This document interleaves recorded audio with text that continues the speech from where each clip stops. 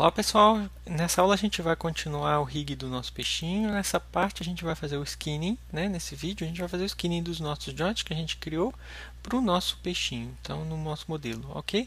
É, primeira coisa que eu posso fazer aqui é salvar essa cena, que a gente já tem o nosso peixinho é, com os nossos joints. Eu vou salvar com um novo nome, porque aí a gente tem etapas que a gente pode voltar e precisar mexer e não perde nosso arquivo, ok? No caso, a gente vai salvar a versão 01 do nosso rig em construção, que é o RIP. É, e eu vou pegar agora fazer o nosso skinning dos nossos joints no nosso corpinho. Então, o que, que eu vou fazer? Eu vou selecionar eu posso fazer de várias formas. Eu posso fazer, por exemplo, é, seleciona a hierarquia, depois seleciona o nosso modelo e pede aqui em Skinning Smooth Bind direto e ele vai fazer aqui para a gente todos os joints da hierarquia, tá? Mas eu prefiro desculpa, o que eu gosto de fazer sempre é pegar os joints selecionados. Por que selecionados? Porque aí eu não coloco os outros joints que eu disse que são os joint end, são os joints da final das cadeias, eles não, eles não serão esquinados, porque aí não me atrapalha lá na hora de ter joint a mais esquinado. Então, a primeira coisa é os selecionados. Então, vamos lá, vamos selecionar os joints que eu quero esquinar. Então, vou selecionar todos os joints que são JNT e não vou selecionar os joints que são é, é, o J-end, tá? porque são os finais das cadeias, não interessa esquinar eles agora. Então, eu seleciono eles, por último, seleciono a nossa geometria. E eu vou dizer para vocês que uma outra coisa que eu não coloco é esse mantém max influence aqui. Eu tiro isso. Por que, que isso aqui faz? Ele faz com que todos os nossos vértices que serão deformados pelo skinning dos joints tenham que ter sempre cinco joints associados, que é que o max influência deles ele está com 5. Isso daqui às vezes para a gente que está iniciando ele é mais atrapalha do que ajuda. Então eu aconselho vocês a tirar esse mantém max influence. Depois vocês podem fazer o teste na hora da pintura de skinning com ele ligado para vocês verem que ele sempre vai. Se eu tiro o skinning de uma de um joint, ele vai sempre tentar colocar em outros e ele para manter que tenha cinco influenciando naquele vértice. No nosso caso, é, a gente não precisa disso porque a gente vai ter alguns joints que esquinam só um joint, um esquinam um, um vértice. A gente vai ver, isso é um pouquinho técnico agora para a gente conversar, mas avançando um pouco mais no rigging, os conhecimentos com a experiência, a gente vai ver que é isso daí. Então o que eu mudei aqui foi Selected Joints no Bind To e tirei o Mantém Max Influence, tá? Com os joints selecionados e a malha do bind skin, ele criou o nosso skin cluster aqui, tá?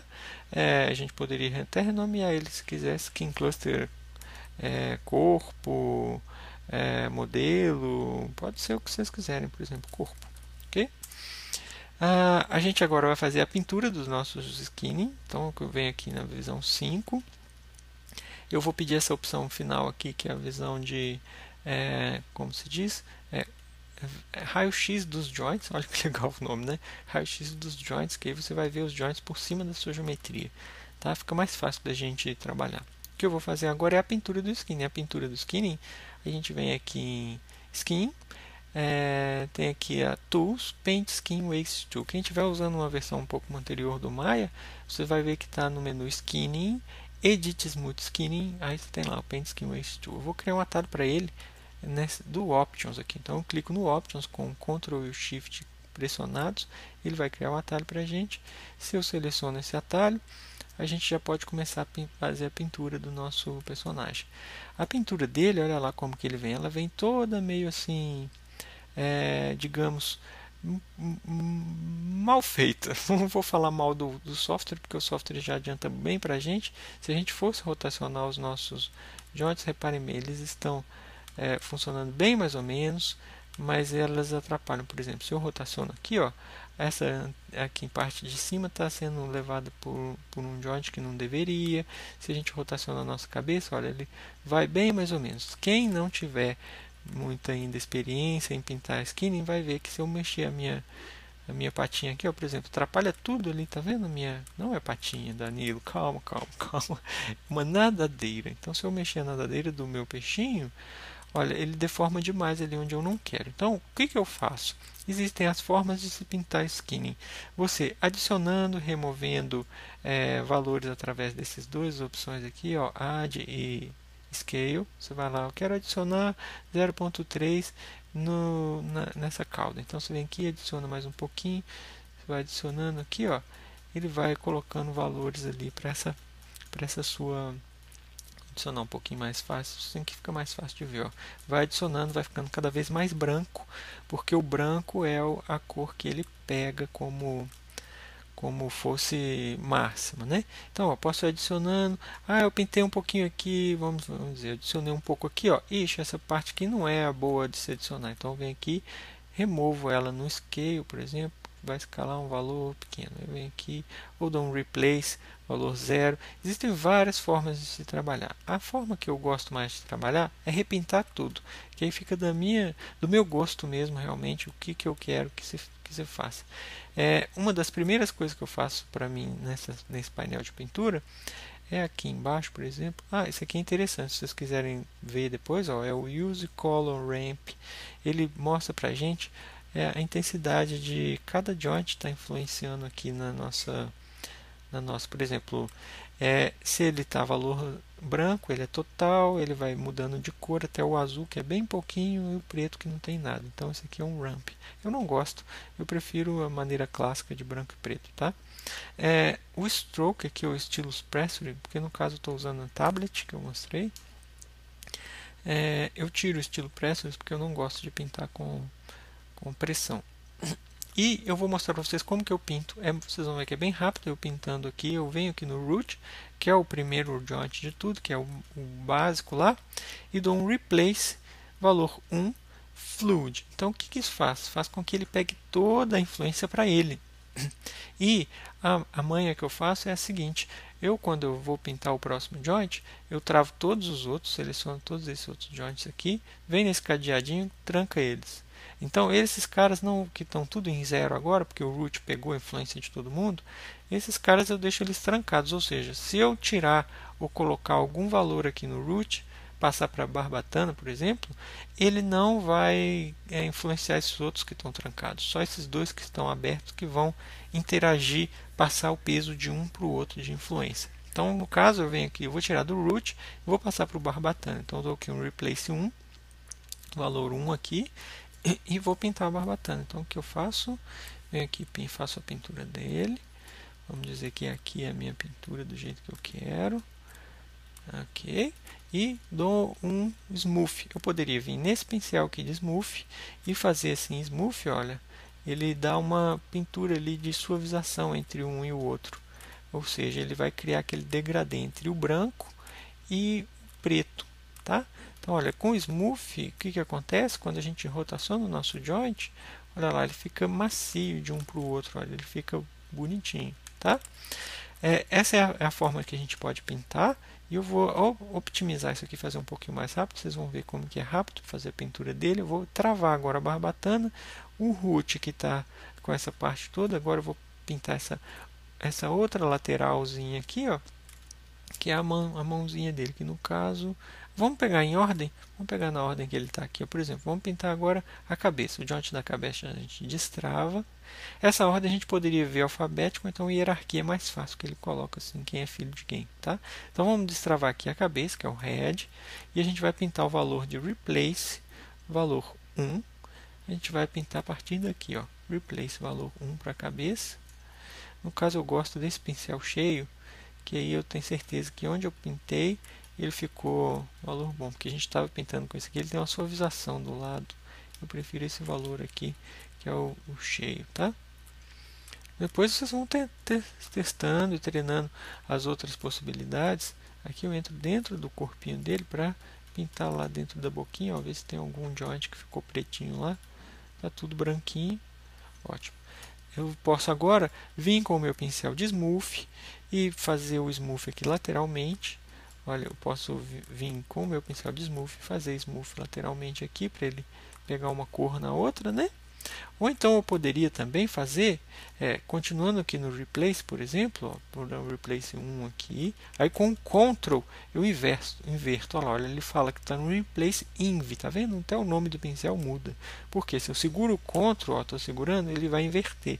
Ou seja, eu vou, em vez de eu pintar valor 1, eu estou pintando o inverso desse replace, ou seja, estou pintando valor zero.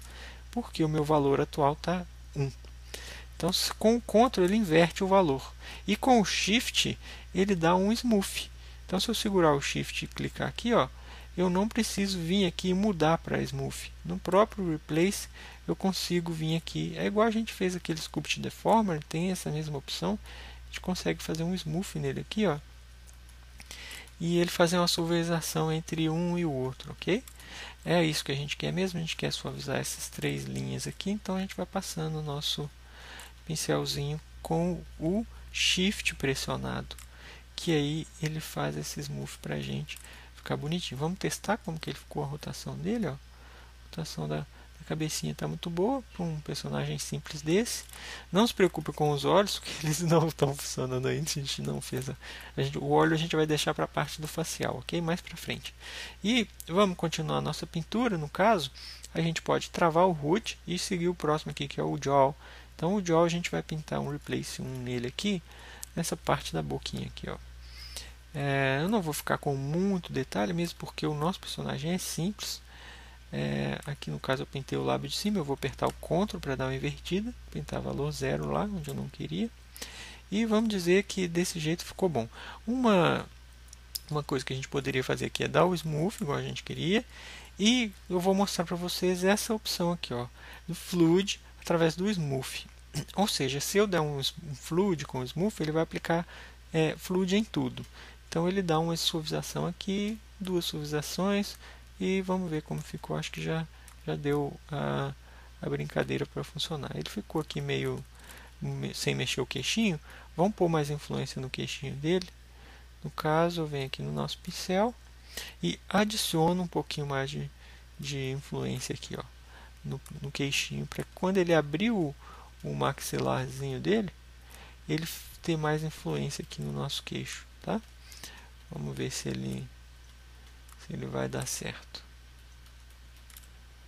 Aqui, vamos ver se a gente abriu agora o maxilar. Ali, tá mais legal, mais legalzinho, né? Vamos dizer a boquinha do nosso queixinho com esse joint que está é, abrindo, ok? É, eu vou voltar para fazer a pintura do rabo e finalizar essa, essa nossa... Ah, ainda falta a nadadeira também, eu acho que é o próximo, né? A nadadeira. Aqui no caso a gente tem a nadadeira do lado esquerdo, a gente faz a pintura dela, eu vou travar aqui o jaw e deixar aberto só o root.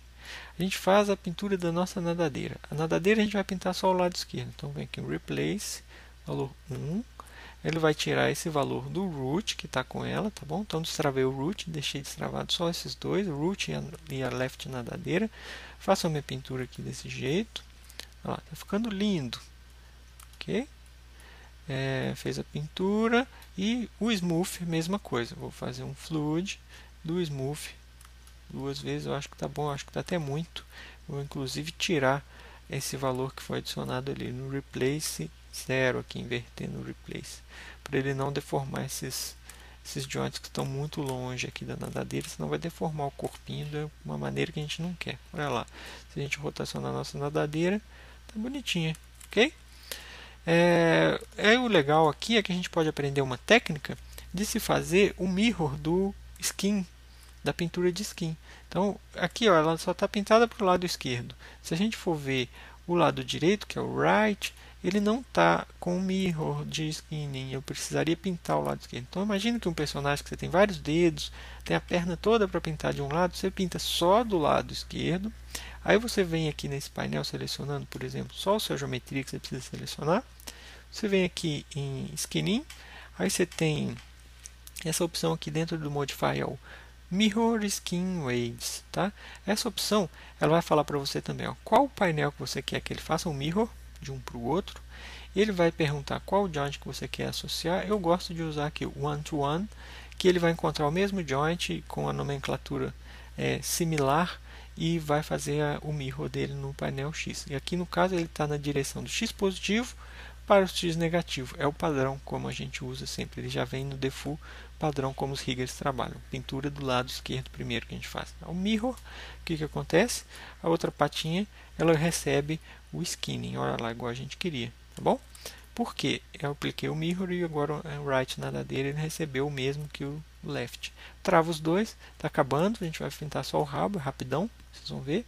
Eu destravo só o joint e o primeiro rabo da, da tail aqui, né? que é a pintura. Eu vou fazer um replace aqui, valor 1, daqui para frente. Então, daqui para frente eu vou pegar todo como o primeiro rabo. Vocês vão ver que a minha técnica de pintura, quando faz assim, cadeia de joint, é muito rápido. O que, que eu vou fazer? É, pinto branco dali para frente, smooth. 1, 2, 3, tá bom? Travo aqui o nosso primeiro joint, que é o root. Só sobrou esse aqui para o root, ó, que é o corpinho dele, a base. Daqui para frente, está sendo levado pelo rabo, que é o tail 1 eu destravo o tail 2, o tail 2 é esse joint que ficou azulzinho aqui, eu pinto a partir dele, é a deformação que ele vai ser feita. Daqui para frente eu pinto o valor 1, ó, pintou, smooth duas ou três vezes, 1, 2, 3, para ele suavizar entre um e o outro. Travo esse joint que eu acabei de pintar, que é o 1, destravo o 3.